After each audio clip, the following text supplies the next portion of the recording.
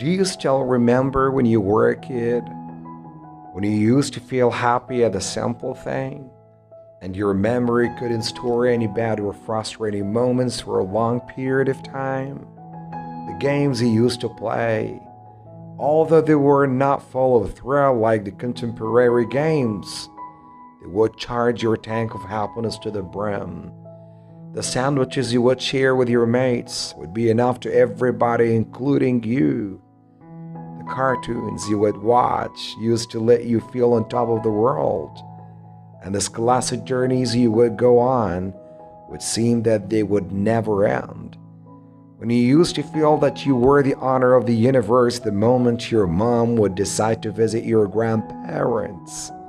When your heart would explode with all kinds of joy as soon as your father would bring you a simple gift. You were an epitome of happiness. You wonder, why don't you have such feelings anymore? Why do you feel that happiness has numbed although you have all secrets and keys to it? What happened to that great innocence? Simply, the answer is not because of life changes, but because of the way we look at the events of life. Believe me, nothing and no one either can hurt us but we ourselves do so. You know, even honey becomes bitter if you keep having it for a long period of time.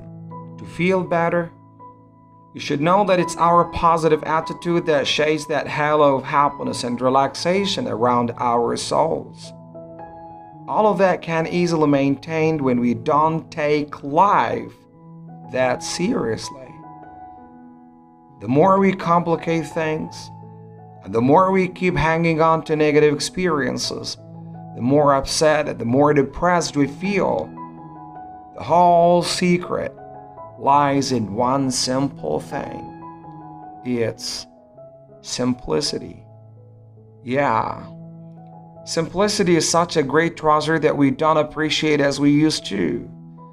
Why didn't we decide to keep that childish side of our characters alive? Why didn't we live those crazy moments over and over again, even if we are grand?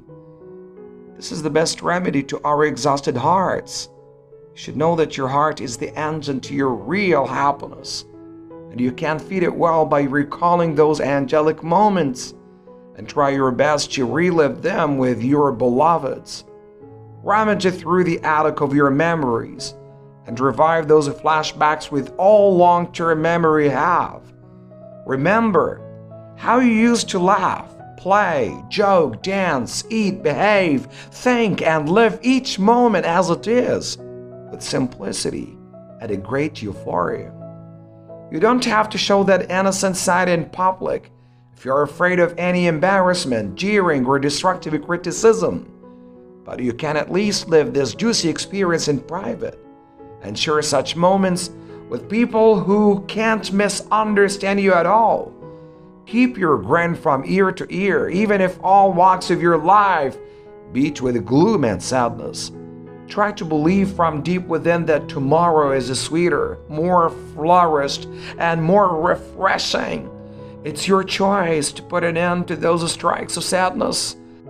It's your duty to feel that your happiness will bloom amazingly in your work family, and more importantly, in your heart, begs you to nurture it with enough doses of happiness, since it's your birthright to live happily. Give it a try, dear. Please, give it a try and refresh those memories or even create new ones, particularly before you go to bed, to let your subconsciousness dive in those pure seas of innocence, joy, beauty, relaxation, inner peace, and ecstasy. Keep that movie of joy playing, filter it from heart scenes, zoom in the heart touching clips, and scroll down the stunning slides one by one.